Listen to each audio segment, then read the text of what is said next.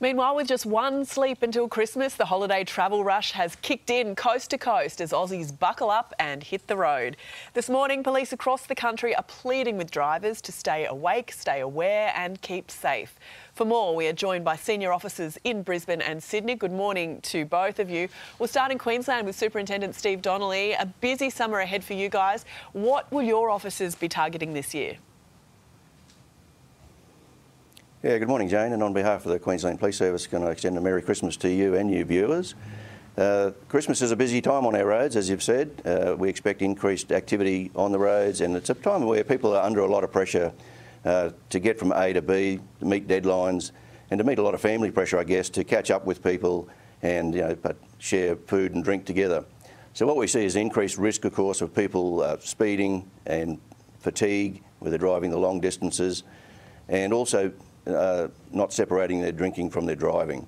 So certainly we're asking people to plan uh, their journey, put in uh, a lot of spare time for breaks, uh, share the driving, and if you are going to partake in alcohol, then have a plan where there's a designated driver or you're using um, other means to get about the place without having to drive. We know your police officers have been uh, quite stretched, particularly with the situation on the border. Um, how are they all feeling heading into Christmas and how busy do you think you are going to be?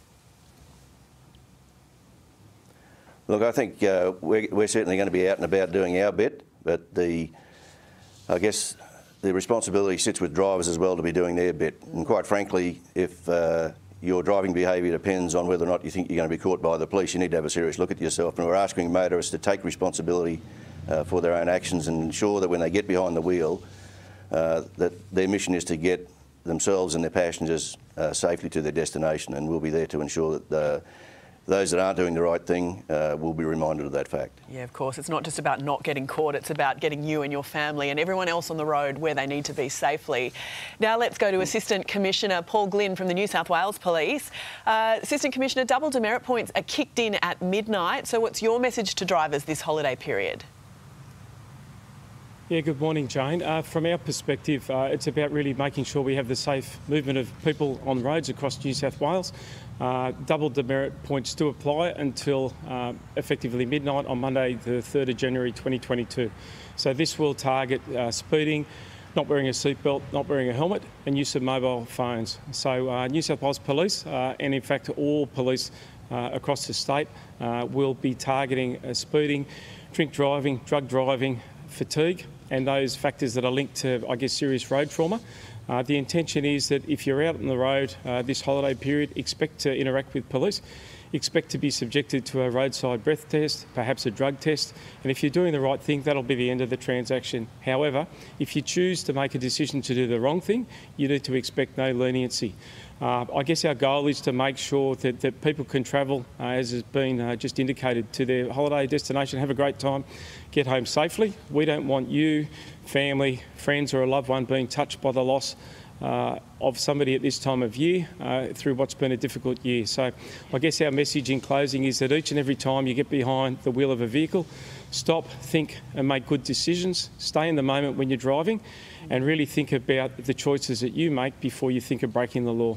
That is good advice. I, I want to ask you also about COVID testing sites. Anyone who's driving around uh, Sydney or other parts of New South Wales at the moment, you can see huge traffic and huge queues, wonder what's all that about, and realise people are in line to get COVID tested. Um, how are your officers responding to that? Are you finding uh, frustrated people, instances of antisocial behaviour? What's it like for them out there?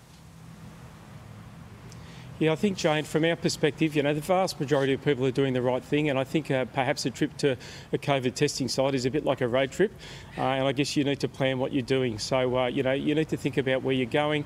Perhaps if you've got kids in the cars, make sure you've got something to amuse them. Uh, you know, you've got some uh, sustenance, uh, and and again, be patient. from a policing perspective, you know, health workers are in a tricky place, trying to do a really, really good job. Uh, and as said, most people are doing the right things, but people need to understand that if there's any social behaviour, uh, road rage, uh, or you know violence used against anybody, uh, the full force of the law will be uh, taken in regards to those people because it's just not appropriate. Uh, for people that are trying to do their job at a diff- difficult time. So again, be patient. Uh, you know, we'll monitor those traffic uh, flows around those sites and work with local traffic management to try and make sure that the impact's minimised. But people really need to plan ahead and just allow more time for those uh, testing regimes to take place. Thank you both. I know yourselves and your colleagues often miss out on family time at this time of year, so to keep the rest of us safe. So we wish you all a Merry Christmas and thank you.